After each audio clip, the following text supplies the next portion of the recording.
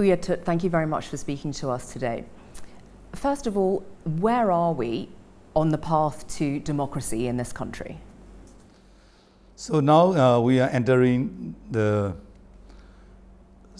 uh, second uh, two and a half year of our transition to democracy. So if we look back to those past two and a half years, we made a lot of achievement. But now we also have the, a lot of challenges. And now the, this stage is, is now we are working uh, very hard to overcome all these challenges in our remaining two and a half year. So now in this, this stage, so I think the people have the more confidence in their future and they have the more trust in the, our transitional process to democracy. There is, though, still a substantial amount of concern amongst the people that we've spoken to here um, that the reforms that your government has put into place are still entirely reversible. Can you give any guarantees that the government will not backtrack on those freedoms? I think the most of the reform, all the reform cannot be turned back because the people, that's the first thing, most important thing is all the people want the reform and all the stakeholder, not only the government, but all the stakeholder in the Myanmar society that we have to change. So I think even though we have a lot of challenges, but the turning back the process is not uh, possible. So no one can accept that and no one can tr try to turn back the clock. One of the biggest challenges here is, of course, ethnic conflict. What specifically, though, are you doing when you know, we still see images on our TV screens of Muslim communities being attacked? Yeah, there's a, the, another uh, conflict uh, suddenly erupted in the last year.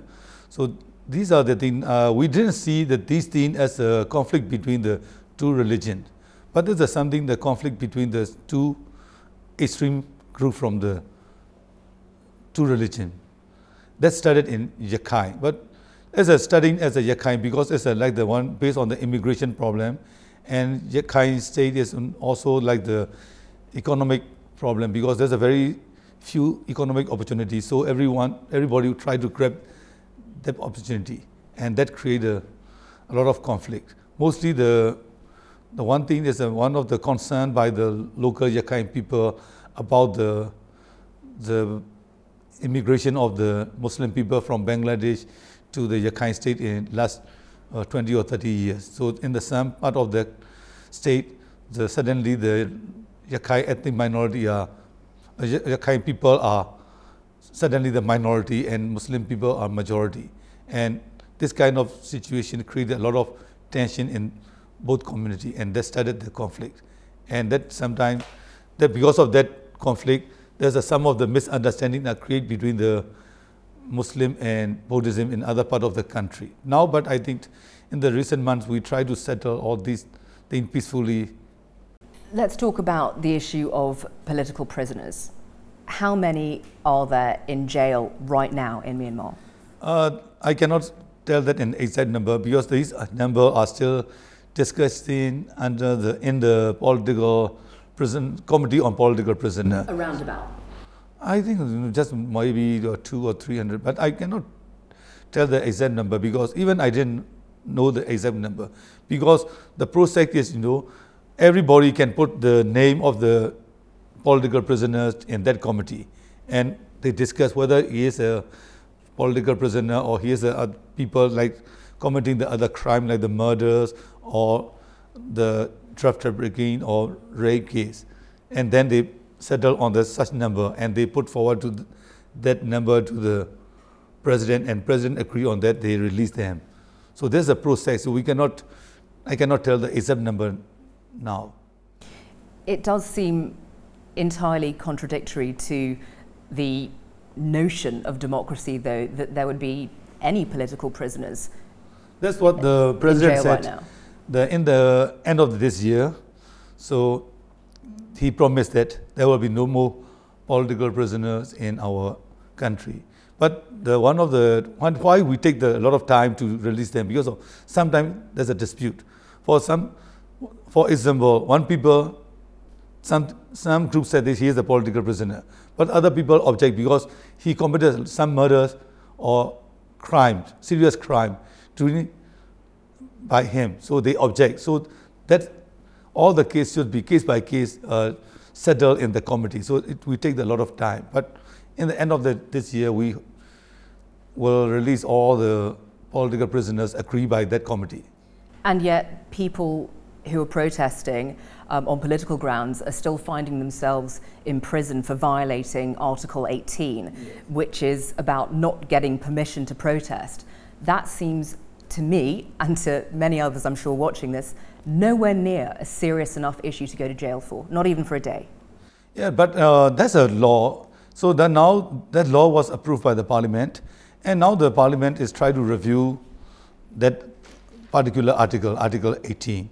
So in our, my opinion, the sum of the case, no, the some of the local authority are uh, reluctant to give the permission for protests. So now we are asking them to give the protester to hold the demonstration. But there's a rule and regulation how they the behave in the protest. So I, I understand yeah. that if someone were to someone were to um, incite unrest or something like mm-hmm. that, sure. But failing to get permission to peacefully protest, it just seems way heavy-handed to be putting them in prison. Yeah, but that's an issue the parliament will consider in the future because that's what approved in the, the under the new government. So when we practice the law, now we face some of the problem or particular article. So this is a duty of the member of the parliament or lawmaker to review and change. Until they change the law, the lo local authority have to follow the rule of the that, that law. Another heated issue here is that of land grabs by the military. What do you say to those people who have been forced off their land, forced away from everything they know, and who feel that they've had their, their land, their property, their lives stolen? I think there's a problem of uh, our country in the since 1948 is we didn't have a very clear guideline on the land reform. So, but uh, even that a lot of some of the law, land laws are uh, started in the 19, uh, 1894 and something after the British coming in our country. So in the case of the, now the parliament have the committee and they send their report to the government. This morning I attend the meeting of the Central Committee for Land, Land uh, Management Committee. So now we have the, the disputed issue. But some issue the military or other uh, business company or other government organization have are able to give back the land. But in the some of the issue, even the who claim the owner, like the people you mentioned, is they are not legally own these land. They are just to clear the the land and they are just settled. They never get the ownership or other things. So these are the many issues. So now the what we are trying to do is now we have the case by case we have to talk to the, the ministry concerned whether they can give back land. Because some of the area are already built by the building, have the building or military compound, but some area can, they are able to give back, so they can, they will give back the land. Or also the business and other ministry are applying the same method. That's the first stage. And second stage, the, when the, the ministry give back that land, so we have to invite all the people who claim this land because sometimes three or four people are claimed to the same land. So we have to settle dispute among them and find who is the real ownership and we have to give back the real owner. So there's a long process. Until all the issues that we've discussed are sorted out, can the country really expect to move much further down the path to democracy? I think I think there's a no there's a the, our is ongoing process. So these are the, you mentioned is the, the land problem or the, the uh, religious dispute. It's all that these are just a obstacle we have to face in all the process. That's the same thing in the democratization process of the our other countries. So I think that will not affect the our reform process, but sometimes we take the time to overcome this issue. That means we, we will not stop at that point until we solve all these problems. Because there's ongoing process because sometimes we didn't have any institution to solve that problem. So we have to build the institution to solve all these social problems. So this is the process. the government has brought in sweeping changes to the media landscape in this country. Um, it wasn't that long ago that somebody would be jailed for criticizing the uh, administration. How does it feel now to be on the side where you are being criticized? Yeah, mostly. Uh, no, there's uh, we are preparing the, since 2010 uh, after the election. So we clearly understand the in the future we have to open up the media environment according to the constitution because now the constitution is currently the freedom of expression. So that what we are trying to do and preparing for that.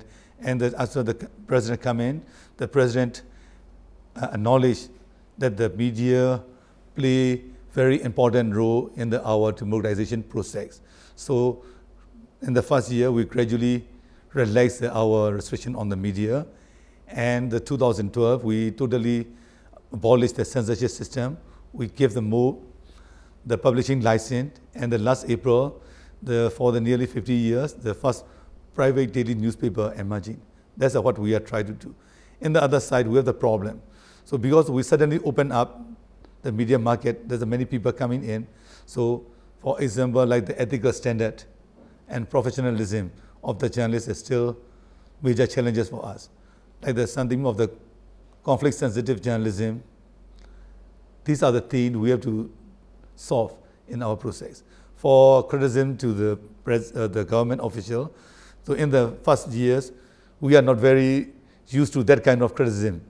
So sometimes most of the some of the government officials are angry about that criticism. But the president set the example.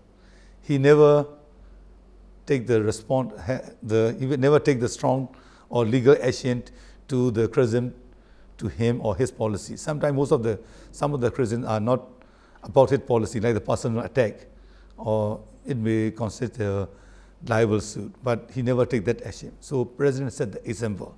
He met a lot of media and he tolerance about their criticism.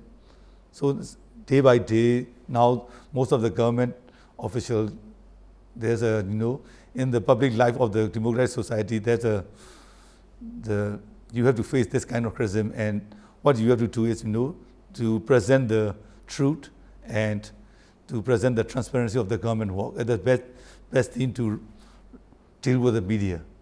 Myanmar is opening up to the world in terms of tourism, in terms of business and investment. How do you want the world to see Myanmar? They, I want to see the, the, the world to see the Myanmar as you know, the country and the people who are trying their best to achieve their democratic goal. And we are trying, and also we have the, uh, some we are facing some challenges. Sometimes we lack the experience.